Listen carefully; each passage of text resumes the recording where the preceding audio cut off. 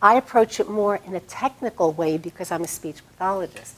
And I've worked with people who have voice problems, voice disorders, not just that they don't like their voice, or articulation problems, or people who may have foreign accents. And so those are some specific things that I approach it a little more technically than somebody else might approach it.